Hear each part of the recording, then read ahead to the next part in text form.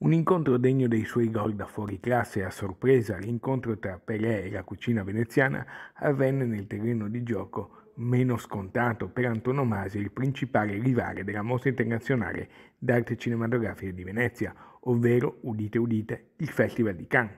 A propiziarlo nel 2005 fu un grande ristoratore veneziano, l'ex arbitro Luca Pradel, allora responsabile della ristorazione di Casa Italia al Festival di Cannes, che oggi racconta. Ho avuto il piacere di conoscere Pelé e il privilegio durante il Festival di Cannes del 2005, dove veniva premiato per un premio della critica sudamericana, il premio si chiamava Premio Cobaleno per il film che aveva fatto in quell'anno. Una persona squisitissima, pronto a dispensare autografi a chi glielo chiedesse, veramente una, un campione. Anche dopo i funerali, l'onda di ricordi e commozione per il fuoriclasse brasiliano è altissima e non si spegnerà mai. Io, Pelé, e il mio amico Mario D'Alena che collaborava con noi a Casa Italia, Pelé che brinda insieme a noi, questo resterà sempre nel mio cuore un autografo personale con dedica all'amico Luca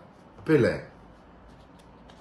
Dopo abbiamo come ricordo tutto il nostro staff di Cannes per la cena della cucina veneziana eh, con Pelé, io, il pasticcere Giorgio Liacci, il grandissimo Pelé Roberto Pater, lo chef Pino Baldi e sempre Mario D'Alena. E poi una promessa che è quella di tutti gli appassionati di calcio resterà sempre nel, nel nostro cuore di tutti noi.